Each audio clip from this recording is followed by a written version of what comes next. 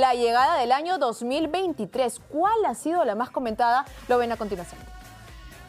Fue una fiesta de color, donde los fuegos artificiales resplandecieron el cielo. En París, por ejemplo, el Arco del Triunfo fue el escenario de la primera celebración sin restricciones por la COVID-19. Al llegar a cero, una explosión de colores estremeció a miles de personas que se congregaron en la Avenida de los Campos Elíseos.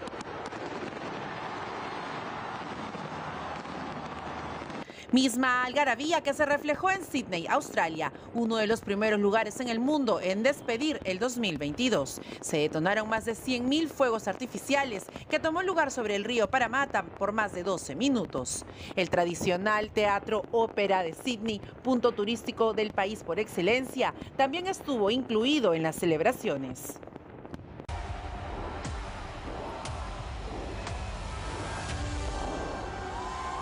Dubái también fue otra de las ciudades donde se celebró al máximo la llegada del 2023.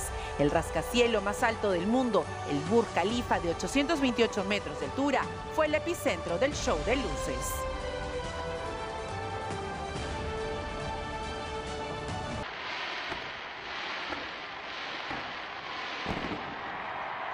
En Estados Unidos, ciudades como Seattle, Florida, Las Vegas, entre otros, también festejaron con impresionantes fuegos artificiales la llegada del nuevo año.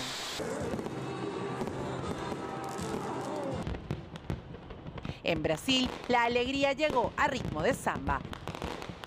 Cientos de personas se dirigieron a las playas de Copacabana, se sumergieron en el mar mientras el cielo resplandecía a la medianoche. En Londres se rindió homenaje a la reina Isabel II. La silueta de su rostro se dejó ver en el patio de armas ceremonial en St. James Park. El tradicional Big Ben también fue centro de las celebraciones, al igual que el London Eye. No menos importante fue el espectáculo vivido en Grecia. El Partenón, una de las maravillas del mundo antiguo, estuvo iluminado por fuegos artificiales.